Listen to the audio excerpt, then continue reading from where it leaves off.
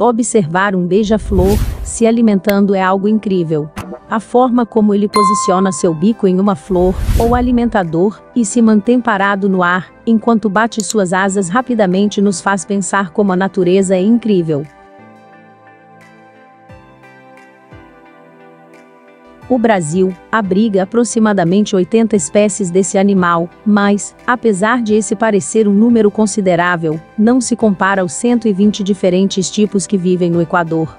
O país oferece condições ideais para esses pássaros, que podem ser encontrados nos mais diversos locais, seja próximo a geleiras ou nas grandes cidades. Confira no vídeo os beijas-flores mais bonitos que existe.